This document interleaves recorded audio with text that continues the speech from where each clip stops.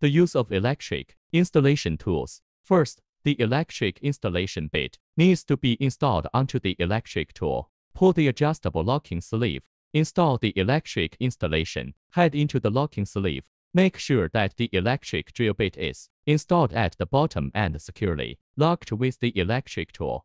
The electric bit after being locked will not have significant shaking.